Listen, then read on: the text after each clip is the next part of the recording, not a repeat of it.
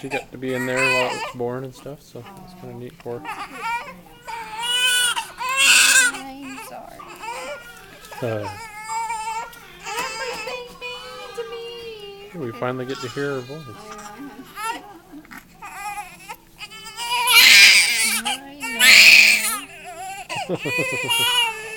I